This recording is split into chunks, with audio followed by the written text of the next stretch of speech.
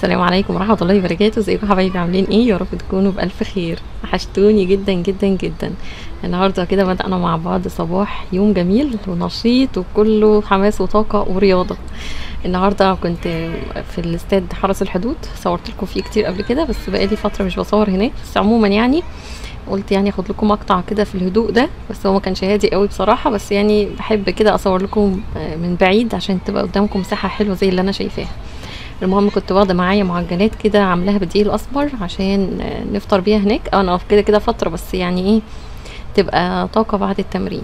فهقول لكم أنا عملتها إزاي. أنا حتى قلت أخد لكم كده لقطة ليها وأنا ماسكاها وورايا الاستاد. أنا ما كنتش غير قطعتين بس بالظبط عشان يبقوا معايا بعد التمرين كده بشوية. المهم بقى إيه اللي أنا كنت محضراه طبعا قبلها بيوم. وهو الحاجات دي. أنا محضرة هنا لبن بودرة وحضرت زبدة وحضرت بيضة وسكر وخميرة زي ما أنتم عارفين. طبعا عايزة أقول لكم موضوع التصوير اللي بالزاوية الرأسية اللي أنتم شايفينها دي أنا خدت في رأيكم فيها الفيديو اللي فات وبصراحة يعني هاخد برأيكم طبعا بس والله الفيديو ده متصور من قبل ما استشيركم في الموضوع. فما تزعلوش مني الناس اللي هي داخت حقكم عليا والله. وناس كتير قالت لي لا عادي خلي التصوير حلو وجميل. وفي ناس قالت لي لا مش فارقة. فطبعا أنا كده كده هاخد برايكم كلكم. ويعني في حاجات ممكن أصورها بالزاوية دي بس مش هتكون كتيرة خالص. وهوسع الكادر زي ما الناس طلبت مني برضو. وهيبقى معظم تصويرنا بالتصوير القديم بتاعنا اللي أنتوا عارفينه يعني عشان برضو ما أذيش حد وهو بيتفرج.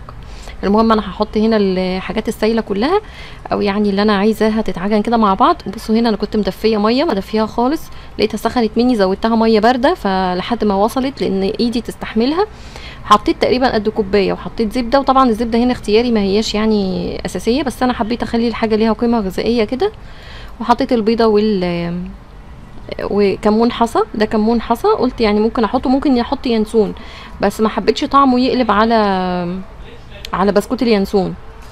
فالمهم حطيت هنا الحاجات السايلة جنبي خلاص جهزتها وهنا قلت بقى إيه نعمل الدقيق. استخدمت نص كيلو دقيق الأسمر اللي كان فاضل عندي وحطيت عليه تقريبا قدهم دقيق أبيض تمام؟ حطيت الاتنين على بعض عشان هو ده اللي كان متاح بالنسبة لي والله دقيق أسمر. فهعجن بقى بالخليط اللي إحنا عملناه ولو احتاج مني سوائل تاني هضيف مية دافية من اللي أنا حطاها جنبي. هي احتاجت بصراحة يعني حطيت الكنكة جنبي كده وبقيت كل شوية بصب منها لحد ما لمت معايا خالص. أنا استخدمت كمان في الآخر خالص نقطتين زيت عشان تلم العجينة من الطبق العجان وما تبقاش ملزقة من بره. عايزة أقول لكم بقى على حاجة وهي الناس كتير كانت بتسألني الفترة اللي فاتت والفترة اللي إحنا فيها وكده نضيع وقت الولاد في إيه؟ بصوا والله هي مش حاجة يعني تتعم على الجميع بس يعني هي الرياضة تعتبر هي سلاحك الأولاني عشان تدافعي بيه عن كل الفتن اللي بتشوفيها حواليكي ممكن أطفالنا أو شبابنا تتعرض ليها. يعني بصوا اللي تقدر على حاجة تعملها. مش هقول لك رياضة معينة لأن أكيد مش كلنا هنجمع على رياضة معينة أو تبقى سهلة بالنسبة للجميع. بس عموما يعني إلهي ولادك بحاجة مفيدة. في كورسات بتتقدم اونلاين دلوقتي تبع وزارة الاتصالات وبتبقى مجانية مية في المية. لو قدرتوا تشتركوا فيها هيبقى حلو جدا.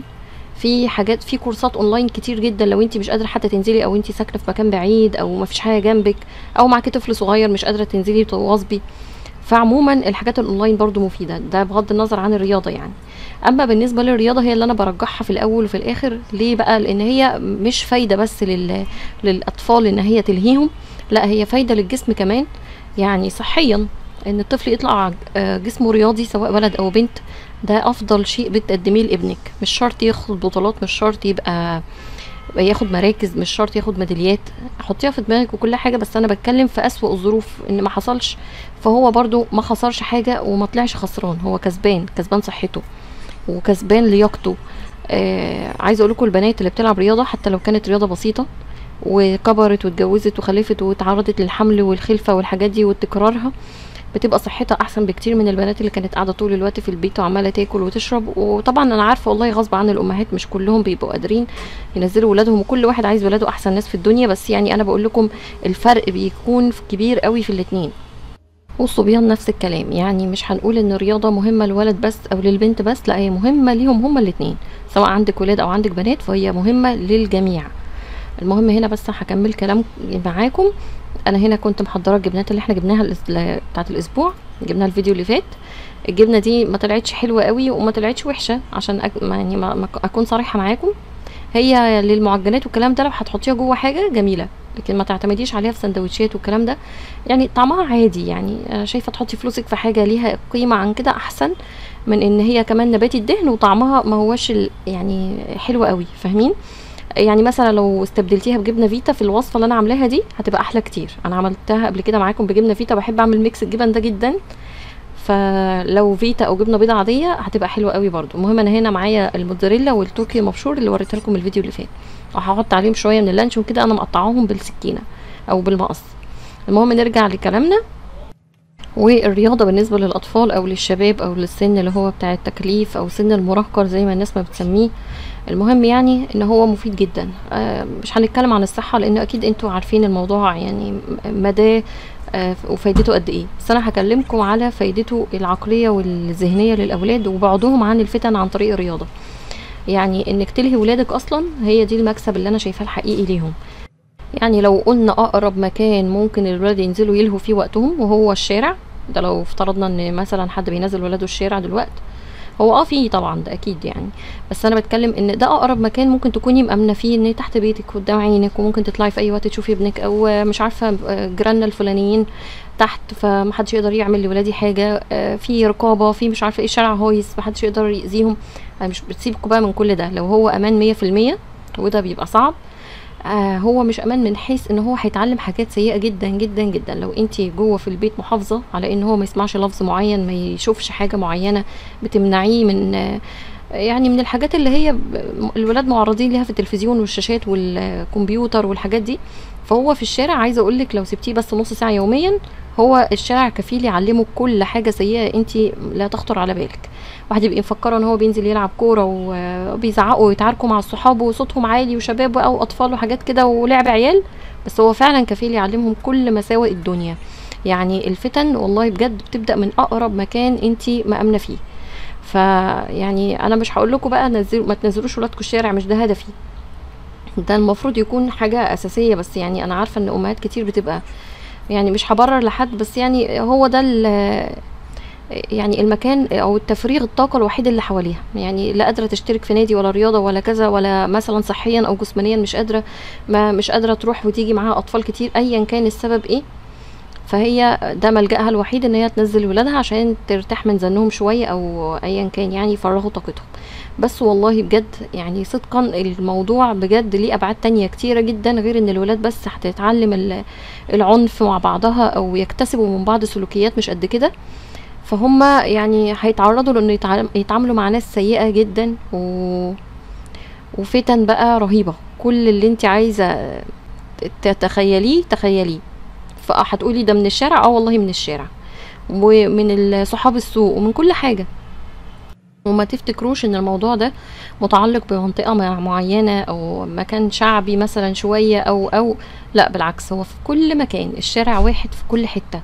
ومساوئه واحدة في كل حتة. بالذات كمان لو هنقول منطقة شعبية هو هيبقى أسوأ لكن حتى لو منطقة راقية فهو برضه سيء. يعني ما تفتكروش إن المنطقة أحسن من منطقة في حاجة. كله في الآخر شارع وكله في الآخر مساوئه واحدة. فعلى قد ما تقدروا اللي بيعلم اللي بيلعب ولاده في الشارع أو بيضطر إن هو ينزلهم حتى في مدخل العمارة تحت يلعب مع الأطفال اللي في سنه وكده حاولوا قدر المستطاع تقللوا من الموضوع واحدة واحدة تدريجي.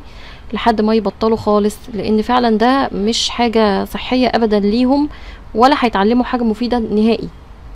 وعلى قد ما تقدروا علموهم لعبة ولو بسيطة ولو حتى تكون مش مكلفة في أقرب أكاديمية ليكي أقرب نادي. على فكرة في مراكز شباب آه، تابعة للمناطق السكنية بتبقى تقريبا تكلفتها رمزية. بس يعني فعلا بجد بتقدم فيها رياضات كتيرة جدا وفيها تف- تفاعلات كتير. بس يعني ما تسيبيش برضو ولادك فيها لوحدهم. لازم يكون في رقابة سواء منك أو من الأب. آه، وديه الرياضة وروحي بيتك. لو هو جنبك مثلا ارجعي خديه. أو آه، روحي في نص التمرين بصي عليه. ما تبقيش في المية إن المكان ده أمان أو قريب من البيت أو ابني هيعرف يرجع لوحده. ماشي تمام. اديله آه، مساحة من الحرية بس لازم عينك تبقى عليه. إن شاء الله حتى مرة في الأسبوع تروحي تبصي عليه وترجعي من غير ما تقولي له. فالرقابة يعني أنا أقصد إن هي تبقى عينك على ولادك حتى لو أنتي مسلمة وأمرك لله وكله تمام بس برضو عينك على ولادك ما تسيبيهمش لنفسهم ولا لشيطانهم. ربنا يا رب يحميهم من الفتن كلها جميعا يا رب. المهم بقى إحنا عملنا المعجنات دي زي ما أنتم شايفينها خلصتها كده ما فيهاش أي شرح غير اللي أنتوا شفتوه. يعني سبتها تخمر بعد كده جزأتها لأكتر من 25 قطعة تقريبا تقريبا يعني وطلعتها من الفرن. يا دوب بس اتخبزت وأحمر لونها وحطيت لها صفار بيضة ونقطتين من اللبن. طلعت طبعا غطيتها لأن بتبقى طالعة ناشفة كده وماسكة نفسها جامد. لمجرد بس ما بتغطيها شوية بتبدأ تطرى زي ما أنتم شايفين كده بتبقى تحفة جدا. الكام قطعة اللي اتبقوا ما كانش في مكان في الصينية رحت عاملاهم شبه الساندوتش الفينو كده أو الباتيه عموما يعني وحطيتهم كده في المكان اللي اتبقى في الصينية. بس يعني هي بتاخدش وقت خالص خالص. هو بس الفكرة تبقي محضرة الحشو بتاعك وتشكيلها زي ما أنتم شفتوا سهل جدا جدا جدا. بتطلع كده حجمها حلو ومشبعة لأقصى ما تتخيلوا وهي بتتاكل سخنة كمان بتبقى تحفة وجميلة قوي. عايزين تعملوها بدقيق الأسمر كامل مفيش مشكلة خالص. أو دقيق أبيض عليه ردة برضو مفيش مشكلة بيطلع زي ما أنتم شايفينه كده شلتها طبعا فطرنا بيها اليوم ده وشوية كده شلتهم في الفريزر عشان ناخدهم معانا تاني يوم الجري زي ما أنتم شفتوا في أول المقطع.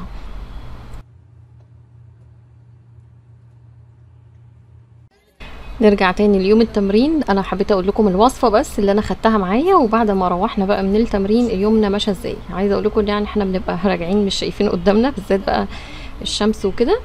بس عموما آه باخد قسط من الراحة كده بعد كده بنقوم بقى نشوف اللي ورانا لأن بصراحة ما ينفعش أنام في نص اليوم خالص. فقلت هحضر كده خلطة عشان عايزة أجيب سمك وقلت كمان عايزين نعمله مقلي مش عايزة أعمل مشوي خالص. فقلت نقليه بقالي كتير جدا جدا ما عملتش سمك مقلي. فطلعت توم اللي هو بيبقى التوم الأخضر اللي أنا ببقى فرماه في البيت معاه فلفل أخضر. جبت منه شوية حلوين وحطيت معاه شوية هريسة شطة. دي حامية شوية صغيرين وحطيت عليها ملح وكمون وكزبرة وحطيت كمان خل وليمون. تمام؟ آه طبعا الخلطة دي هعمل بيها تتبيلة السمك من جوه هحشي بيها يعني وكمان هاخد منها للطحينة وطلبت كمان جمبري فهاخد منها معلقتين كده للجمبري عليهم على الوش مع شوية بصل زي ما هتشوفوا معايا يعني المهم دلوقتي. المهم بقى هنا حطيت اللي بقول لكم عليه كانوا آخر حبة خل فهشتغل يعني. أنا كل ده على فكرة بعمله وقلت أخلص الحاجات دي كلها لأن النور قرب يقطع وهبقى أنزل أشتري السمك. يعني أنا بعمل كل ده وأنا مش عارفة أصلا هجيب سمك ولا لأ بس قلت إن شاء الله هلاقي يعني أو ربنا هيوفقني وأعرف أنزل أشتري. فلان الراجل ما بيردش عليا في التليفون خالص خالص خالص مش عارفة في إيه بجد. المهم لما رحت له لقيته عامل التليفون سايلنت وهو قال لي التليفون وضع الصامت من ساعة الصلاة بتاعة الجمعة. المهم حمرت هنا بصلاية في شوية زيت تتحمر كويس جدا جدا جدا. يعني هتشوفوا اللون بتاعها. أنا بخليها تحمر لحد ما يبقى فيها لون الذهبي البني غامق. يعني مش أسود بس يعني بني غامق قوي. ده بقالي كتير برضو ما عملتش رز الصيادية ده. فقلت نعمله بقى النهارده. أنتوا عارفين يوم الجمعة بيحب السمك. فكان بقالي كتير برضو ما عملتهوش من قبل رمضان تقريبا. ونزلت كده بمية للرز. هتغلي بس وأقوم حاطة الملح بتاعها واسيبه يغلي تاني وأنزل عليها بالرز يتشرب بالطريقة العادية اللي أنتوا عارفينها يعني للرز الصيادية. طلعت هنا الطحينة وقلت بسرعة كده هعملها وأنزل حتى لو النور قطع وأنا تحت مش مهم المهم أكون حضرت الحاجات اللي أنا عايزاها لأن ببقى عايزة حاجات من الفريزر ومش عايزة أفتحه والنور قاطع. وأضيع الغاز اللي فيه وأفتح التلاجة أطلع ليمون ومش عارفة إيه فقلت أخلص الحاجات دي كلها وأبقى أكمل والنور قاطع مش مهم. المهم عصرت الليمون هنا زي ما قلت لكم. الليمون ده على فكرة مطلعاه من الفريزر آه ما عنديش الطازه فببقى حاطة اللي متفرز ده احتياطي عندي أيام اللي ما بيبقاش عندي فيها ليمون. بس أنا لما نزلت آه آه أجيب السمك سبت الراجل ينضفه ورحت لبتاع الخضار في وشه على طول يعني جبت منه شوية ليمون وبتنجان عشان أعمل بابا غنوج وجبت كمان خضرة. وإيه تاني؟ وفلفل. فيعني ضيعت الوقت على ما الراجل ينضف لي السمك. بس يعني فعملت خلطة الطحينة أهو بشوية التوم من اللي أنا مجهزاه للسمك وهزود عليه بس شوية مية صغيرين خالص لحد ما تبقى سلطة الطحينة عادية. حتى أنا بصوا لابسة ومستعدية إن أنا أنزل بس قلت أخلص بسرعة قبل ما النور ما يقطع. كان نفسي جدا أدخل السمك النهارده القلاية بس طبعا النور قاطع. فانا بعمل الغدا الأيام اللي أنا بتأخر فيها في عمل الغدا دي بصراحة بستغل قطع النور في ان أنا اجهزه وبعد الغدا أو بعد قطع النور بنبدأ نتغدى. ف ما كانش ينفع استنى النور يجي وكمان ادخل السمك القلاية الهوائية واستنى سمكتين سمكتين يتعملوا فبصراحة كنا هناكل متأخر جدا. فقلت بقى مش مهم النهارده نقليه ومش هيجرى حاجة يعني. حضرت شوية دقيق ونزلت وجيت على فكرة والنور قاطع دلوقتي وأنا بصور. الراجل بصراحة منضف لي السمك حلو قوي لأن مفيش مكان بقى ولا يعني وقت قطع النور أنتوا عارفين يعني أكيد مش هقف انضف السمك كمان بيبقى بهدلة ومش شايفة وحاجة صعبة قوي. فتبلته زي ما أنتوا شايفين كده وحطيته في الدقيق على طول وجهزته جنبي بحيث إن أنا أقلي على طول كده في ساعتها. عملت كمان خلطة للجمبري هوريه لكم أنا جبت نص كيلو بس. قولوا لي برضو الأسعار عندكم عاملة إزاي لأني بسمع أسعار عجيبة قوي على النت. وما ببقاش عارفة بصراحه ده صدق ولا لأ. يعني بقول يمكن في ناس آه، فيها ساكنة في مناطق بتبالغ شوية في الأسعار وفي ناس ما شاء الله أماكنها حلوة قوي بتحط أسعار كويسة معقولة يعني. المهم السمك ده كان حجمه كبير ب 85 جنيه. فحسيته معقول لأن أنا شفت أصغر منه ب 75 الناس بت آه، بت- بتبيعه على يعني صفحات السمك هم اللي حاطينه على الفيسبوك حاطين أسعار يعني. وبما إني نازلة أصلا متأخر وخلاص السمك كان بيخلص عند الراجل فده اللي أنا لقيته الحجم اللي أنا لقيته يعني. أخدت بقى الأربع سمكات دول وفي حد كده مش هقول اسمه عندي في البيت ما بياكلش سمك غير بقى بالتحفيز ولازم آه، مش هقول اسمها بس أنتوا كده عرفتوها. فلازم أقول لها هجيب لك حاجة من السوبر ماركت لو كلتي سمك. غير كده ما بتاكلش سمك. أنتوا أكيد عارفين اسمها واكتبوا اسمها في التعليقات بقى. وشجعوها كمان عشان هي بجد غلباني قوي في أكل السمك ده. المهم بقى حطيت هنا النص كيلو الجمبري ده حطيت عليه البصلة قطعتها أي كلام كده أي تقطيعه يعني.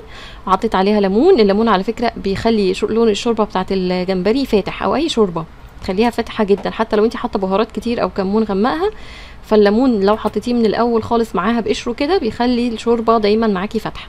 أنا بحب أزود معاه مية عشان الشوربة تبقى كتيرة كده بس ما بزودهاش قوي عشان ما تبقاش خفيفة. والبتنجانه دي كنت عمالة أشويها على البوتاجاز. يعني أنا بحب البتنجان اللي على البوتاجاز رغم إن هو بيبهدل لي الدنيا بس بحسه آه، طعمه أحلى من اللي في الفرن أو اللي محطوط في القلاية الهوائية. يعني بجد بيبقى طعمه تحفة. وبعدين ما بحبش أدخله الكبة. الكبة بتهريه أو بتخليه بيوري قوي. أنا بحب أكله لحم كده أحس إن اللحم بتاعه باين وليه طعم فعلا ظاهر. فهرسته حطيت الطحينة اللي إحنا عاملينها من شوية دي حطيت عليها البتنجانية دي وخلاص. قلبتهم في بعض وحطيت عليهم كمان رشة من البابريكا وممكن طبعا شوية خضرة كده على الوش أو زيت زيتون زي ما يعجبك يعني بس هي مش محتاجة أكتر من كده. سلطة طحينة عادية جدا عليها بتنجانة مشوية. وعملت طبعا سلطة خضراء في السريع جدا وكل حاجة عاملاها والنور قاطع والله بس الخضار غسلته قبل ما النور يقطع وعشان أبقى شايفاه كويس وهو بيتغسل. وعصرت بقى على السلطة ليمون وعلى البابا غنوج برضو ليمون ورشيت رشة ملح على السلطة. وبس كده الأكل يعني مش محتاج أكتر من كده. وكل حاجة بتستوي مع بعضها بقى في الأكل. السمك على النار والرز خلاص اتشرب وطفيت عليه. كان فاضل بس السلطات أتبلها والجمبري كمان كان على النار وطفيت عليه من بدري لأن ما بياخدش خالص وقت. مجرد ما بيغلي معايا المية واللون يغير بتاع الجمبري بطفي عليه. ممكن الموضوع ده ياخد عشر دقايق سبع دقايق على حسب. بس كده طفيت بقى على كل حاجة والنور جه الحمد لله وقلنا نغرف. ف يعني اليوم كان سهل. عارفين أنتوا موضوع السمك ده بالنسبة لي أكلة بسيطة جدا حتى لو أنا اللي هقلي في البيت فهو ما, بياخدش وقت. حتى التجربة بتاعتي لما شويته في البيت قبل كده ووريته لكم بصراحة برضو من الحاجات اللي ما بتاخدش وقت خالص. أسرع من أي أكلة ممكن تكوني لسه هت هتسلقي لحمة أو هتسبكي خضار الكلام ده كله بياخد وقت أطول بكتير. فيوم السمك يوم خفيف كده ولذيذ. بس عايزة أقول لكم اليومين دول باجي بعد الغداء بتعب جدا مش عارفة ليه. مش تقل الأكل بس بدوخ وبحس كده إن معدتي مش مظبوطة مش مرتاحة للأكل. ببقى بقعد أراجع نفسي أكلت إيه بلاقي إن ما أكلتش حاجة غريبة يعني أو ما أكلتش بره البيت مثلا. بس بجد مش عارفة إيه السبب. وعموما يعني زي ما قلت لكم أنا ما باكلش من بعد وجبة الغداء. حتى لو هي متأخرة فهي برضو بتبقى بالنسبة لي آخر وجبة باكلها. والحمد لله على كل حال ربنا يديمها نعمة ويحفظها من الزوال ويبارك ليكم وفيكم يا رب العالمين ويجعل بيوتكم دايما عامرة بالخير.